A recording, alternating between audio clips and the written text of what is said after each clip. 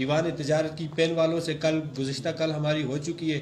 Ivan तजारत से कल है और फिर हमें हर यूनियन कौंसिल और हर वीसी तक पहुँचना है और लोगों को एक एक एक पॉइंट पे लेके आना है। ये हमारे एजेंडे का बाकायदा हिस्सा है। मैं डॉक्टर साहब ये कह रहा हूँ कि कहीं ये ना हो जाए हक उगी को दो हक तनावल को दो।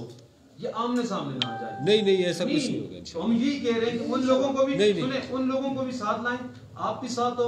जब आप लोग इकट्ठे हो जाएँगे जब इकट्ठे होकर आप लोग एक प्रेस कॉन्फ्रेंस सारे करोगे दरबंद से लेकर तो मेरे ख्याल में ये मसला आपका हल हो जाएगा। इंशाल्लाह बहुत शुक्रिया क्योंकि हमें दरबंद से जो है जारी बात है वहाँ के लोगों के नहीं नहीं सबको साथ लेके ये बात भी सही है। बिल्कुल। जी आप तमाम तहसील मेम्बरान का शुक्रिया अदा करते हैं जो आज के इस इजलास के अंदर शरीक हुए हैं।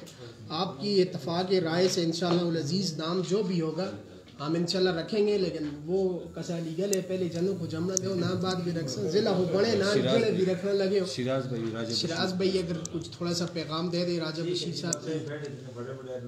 बहुत शुक्रिया जी। शुक्रिया आज के इस इजलास के अंदर करारदाद पेश करते हैं जी। तस्दीक की जाती है कि जमात इस्लामी यूथ उगी ने जो तहरीक हक दो उगी को शुरू की है। इस बारे में सबक मेम्बरान तहसील कौंसिल उगी के सामने जो करारदाद पेश की है हम इस करारदाद की मुतफ़ा तौर पर तोसी करते हैं और इस ज़मन में हर किस्म की जानी माली और वक्ती मदद की यकीन दहानी कराते हैं और हुकाम बाला से दरख्वास्त करते हैं कि उगी के हकूक़ उगी की आवाम को फ्राहम किए जाएँ और ज़िला उगी के क़याम को यकीनी बनाया जाए। आप सब इसकी तस्दीक करते हैं जी?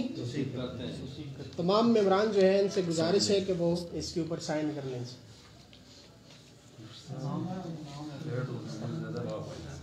काज भी पड़ेगा नहीं भाई। नहीं नहीं नहीं नहीं। फ़िलहाल एक फ़ोटो कट कर सकते चाह ये